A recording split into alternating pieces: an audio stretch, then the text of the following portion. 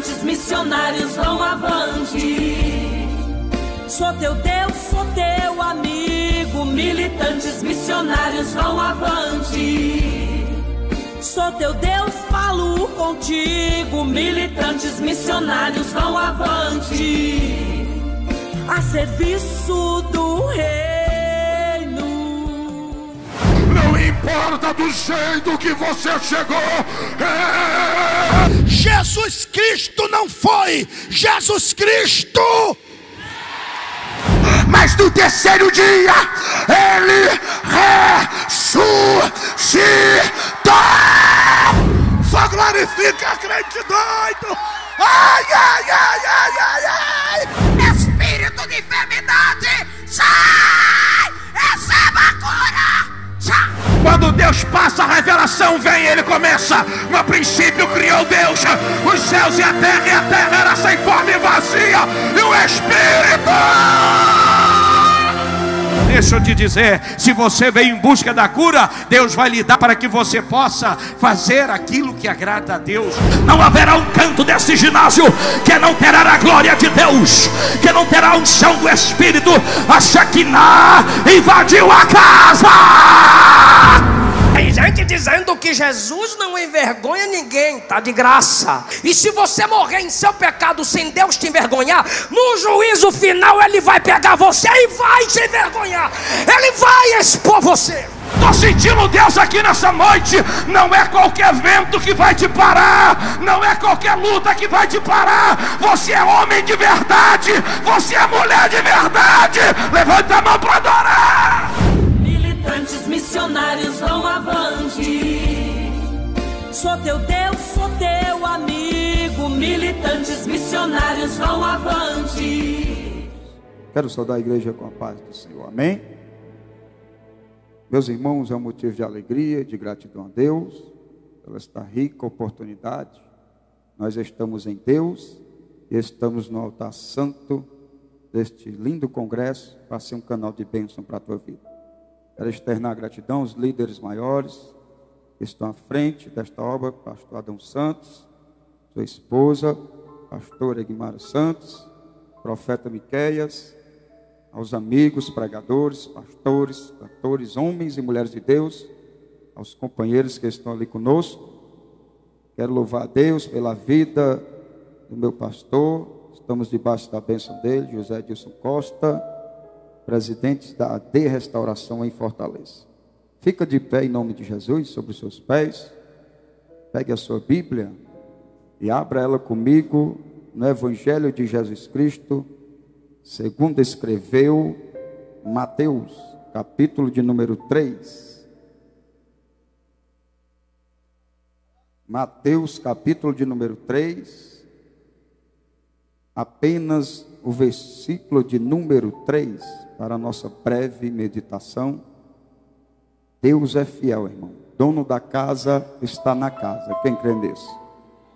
O dono da casa foi o primeiro a chegar na casa. Amém? Eu gosto de falar que o ministro da Saúde não está lá em Brasília.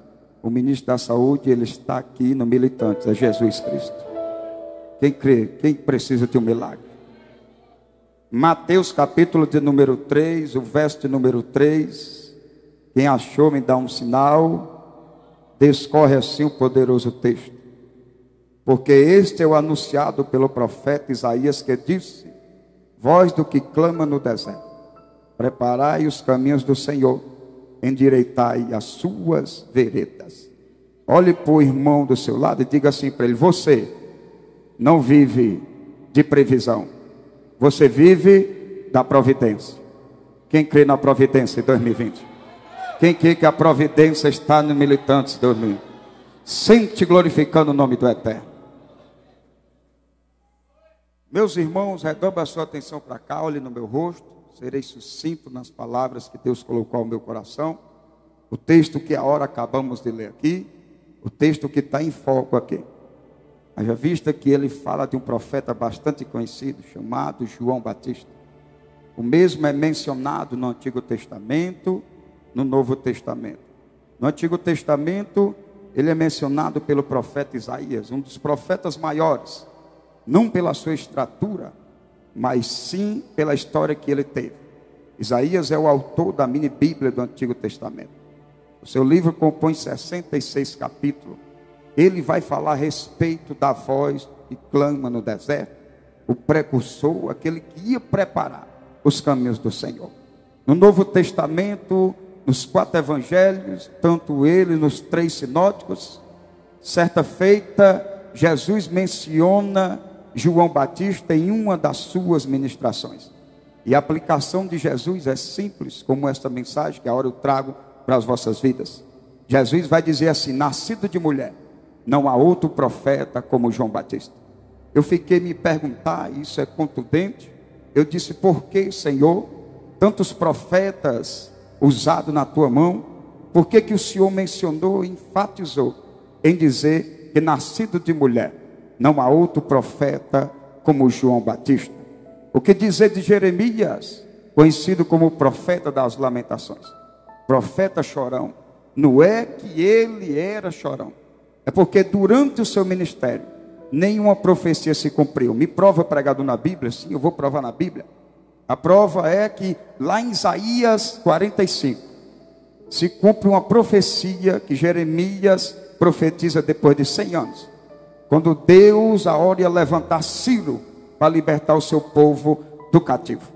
Agora, por que que Jesus enfatizou em dizer que nascido de mulher não há outro profeta como João Batista? É simples. João Batista está às margens do Jordão e a sua mensagem é essa, ele diz: "Eu vos batizo com água, mas em breve vai vir um que eu não sou nem digno de desatar as correias da sua sandália."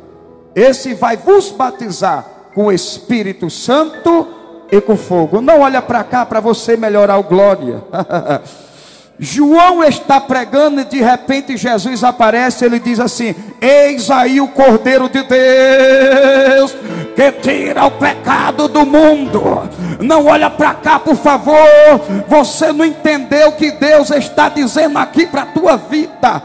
João está pregando e a revelação já está se cumprindo, a profecia já está se cumprindo. Ele está dizendo assim: ó, vai vir um e Jesus já está aparecendo. Levante a sua mão direita para receber, levante a mão esquerda para cumprir a profecia bíblica. Essa é a geração que Deus quer levantar aqui no Militantes, nas últimas horas da igreja na terra. Uma geração que vai profetizar e a profecia não vai cair por terra. Cadê você, João? Cadê você, João? Abra sua boca! Abra sua boca!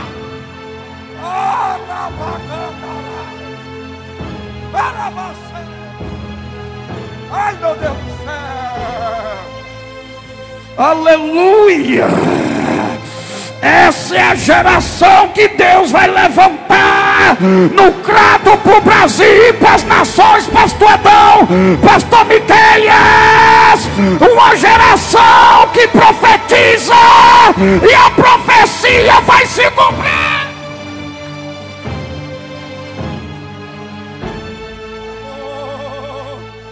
Estou sentindo aqui uma ré. Estou sentindo a nuvem embaixo. Olhe para cá. Olhe para cá, eu vou entrar aqui. Uma rápida introdução, vou entrar naquilo que eu leio. O interessante é que Mateus registra três cenários que João aparece. Eu vou falar só de um: cenário de deserto. A simplicidade desse profeta, a mensagem dele é essa: é necessário, é necessário que ele cresça e que eu diminua. Quem está entendendo o mistério? Mas sabe o que é que eu acho lindo? Olhe para cá. É que o versículo de número 3 é tão revelador para essa geração. A respeito deste homem chamado João. Quando o versículo nos diz assim: Aleluia. Porque este é o anunciado pelo profeta Isaías que diz: Voz do que clama no deserto, preparai os caminhos do Senhor endireitai as suas veredas. Olhe para cá, quem está com a Bíblia aberta, eu gosto de Bíblia, não vem contar minha história. O versículo de número 3 aparece o nome de João, Aparece o nome de João? Não. Aparece o quê? Esta é a voz que clama. Aleluia. Repassai a candará. Aleluia. Eu tenho uma resposta para você, homem, mulher de Deus que quer desistir. Para você que chegou aqui, aleluia, pensando em chutar o pau da barraca, porque é muita retaliação, aleluia, muita perseguição. Para fazer um evento desse, é muitos dizendo que vai dar certo, e outros dizendo que não vai dar certo. E muitos até perguntam: Eu não estou vendo o teu nome, eu não sei como é o teu nome. Mas olha para cá, olhe para o irmão da direita, da esquerda, pegue assim na mão dele, vai, para ficar bonito. Chacoalha a mão dele e diz assim para ele: Não precisa ninguém saber o teu nome, só precisa conhecer a tua voz. Cadê a voz? Cadê a voz? Cadê a voz? Tem voz aqui em cima? Eu só tenho voz com o microfone. Tem voz aí embaixo? Cadê a voz? Olha aí, já subiu aqui. Já subiu ali. Olha a voz, olha a voz, olha a voz. Eu não estou pregando para quem é eco, pastor Adão. Eu estou pregando para quem é voz. Abra a boca, abra a boca. Já pegou aqui na frente. Já pegou a rabaxarabacandara.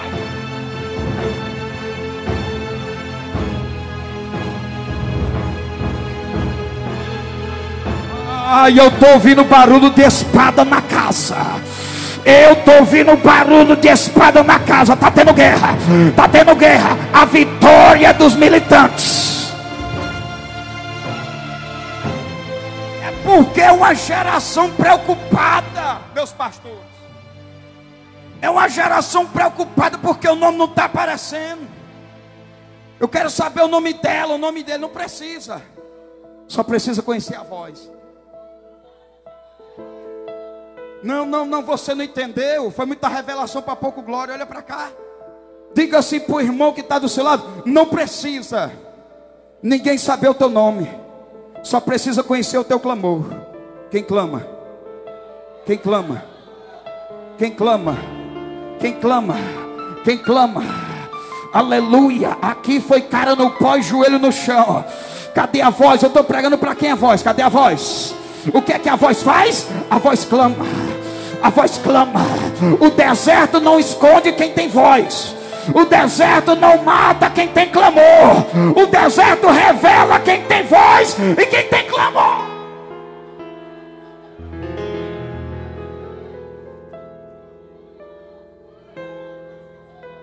Quem é voz? O que é que a voz faz? Clama. Repita comigo: clama. E olha como o texto é simples, que a gente quer inventar. Olha como o texto é simples. A voz que clama preparou os caminhos. Ah.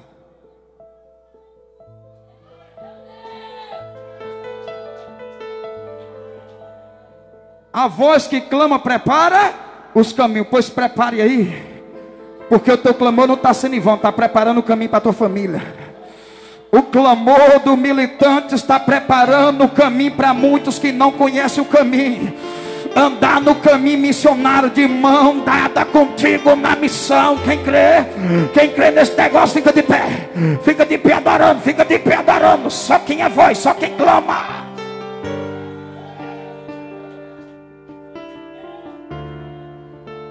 Ó, oh, olha aqui, olha no meu rosto. A voz que clama, ó, prepara os caminhos. Aí é perguntando, desistiu? Não, não, estou clamando. Para quê? Preparando o caminho. Para o meu esposo. Para minha esposa. Para os meus filhos. Morreu não, morreu não, porque eu estou clamando. E Deus está abrindo os caminhos. Quem crê nesse negócio? Quem pode adorar por dois segundos? Ai, Jesus da glória. O negócio está bom aqui.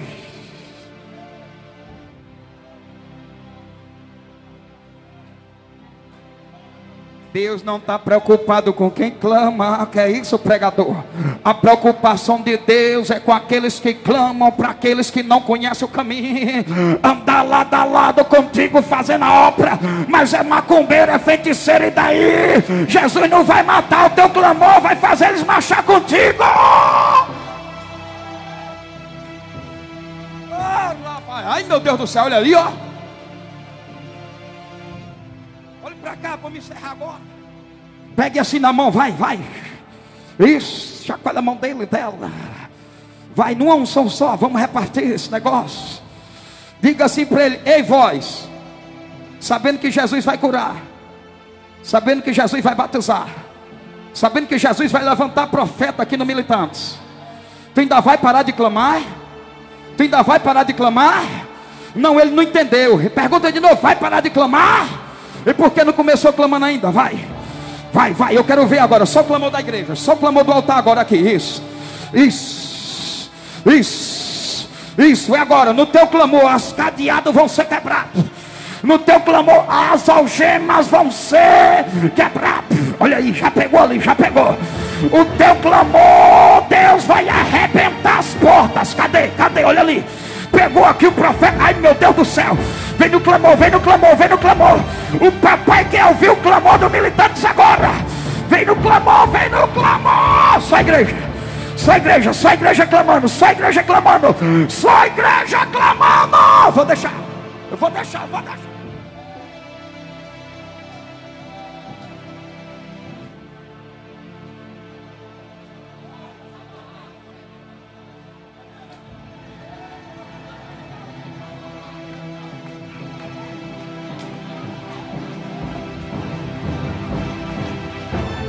Ai meu Deus do céu, olha ali. Pastor Adão, pelos olhos da fé, o senhor está contemplando o que Deus está fazendo aqui. Pessoas vão sentir náusea, ânsia de vômito, vontade de provocar o câncer, o caroço. Jesus vai começar agora.